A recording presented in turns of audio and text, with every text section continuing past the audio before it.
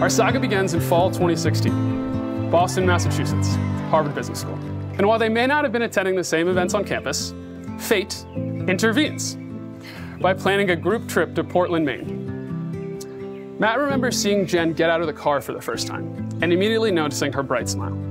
We were talking about Jenn, how wonderful she was, and they said, You know, Dad, I gotta tell you, they both said this. We like Matt a lot more when he's with Jenn.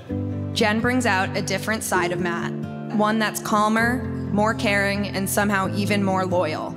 The 2,900 miles between Chelsea and the Haight are long.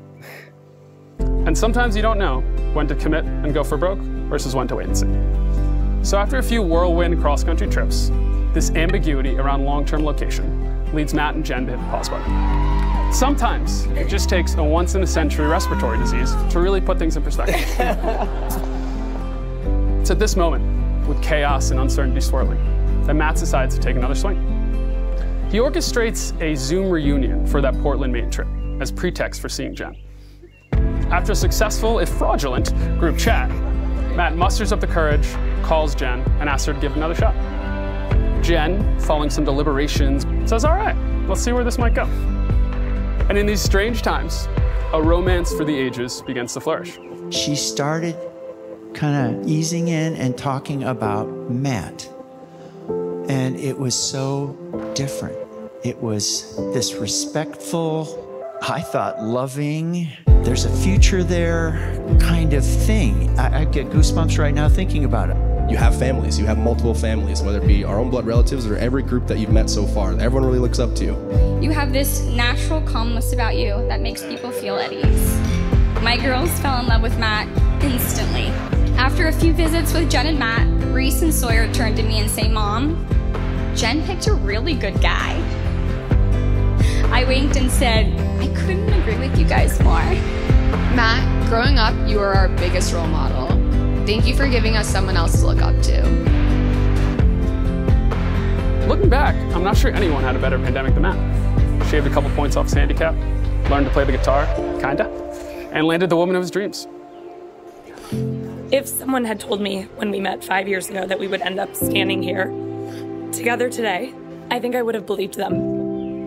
From the moment we met, I have felt a sense of ease and comfort and naturalness that I haven't felt with anyone else. It's what led to something feeling different after we finally kissed on that disgusting floor of car. And made me feel confident in choosing to move across the country to start our lives together. And while that ease is what grounds me when life is challenging, when we're going through big changes, now it's what we've built from that ease that I love, that I'm so proud of. From that ease, we've built a strength in our differences, an appreciation for what we share, and a future we've dreamed up together. It's our differences that I love. Early on, they intimidated me. We lived on opposite coasts, didn't share a lot of interests. But you taught me that it's not about the fact that we have differences, it's about how we invest in them for each other. I've heard that marriage is work, choosing to sacrifice and commit over and over to the other person. It makes me feel that no matter where we need to be for the other, we will be there. We share a deep love for our families. We both drive a lot of our individual identities from who we are in our family, and I feel so lucky that we fell into each other's as if we'd known them our whole lives. You make me feel like myself, seen and loved in a way that feels familial and unconditional and supportive. It's the life we've dreamed up for ourselves that I love. I promise to continue to push you out of your comfort zone. I promise to love you and support you unconditionally, supportively, familially. I promise to do everything in my power to make our dreams a reality. And I promise to enjoy every moment we are lucky enough to do life together. What I remember most about the first time we met in Portland, Maine, is that your smile absolutely floored me. You were so gorgeous and happy and magnetic, and your smile was quite literally infectious. The whole weekend, all I wanted to do was make you smile. We became fast friends. Now, I didn't learn until later that the easiest way to make you smile is to let you tell your own jokes. because every time you do, you laugh, basically while telling the joke, and say, pretty funny, right?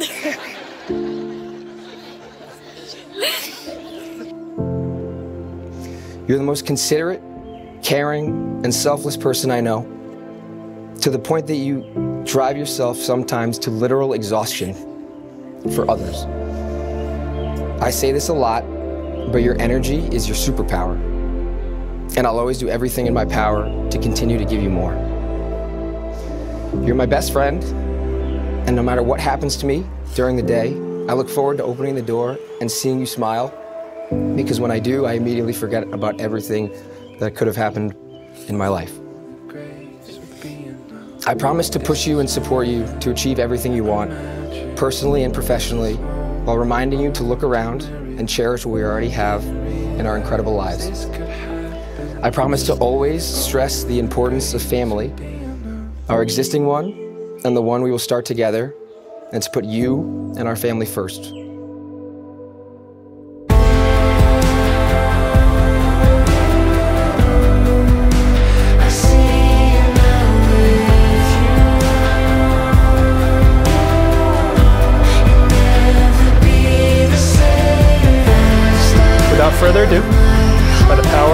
Me by the internet, I now pronounce you husband and wife. Let you guys take it from.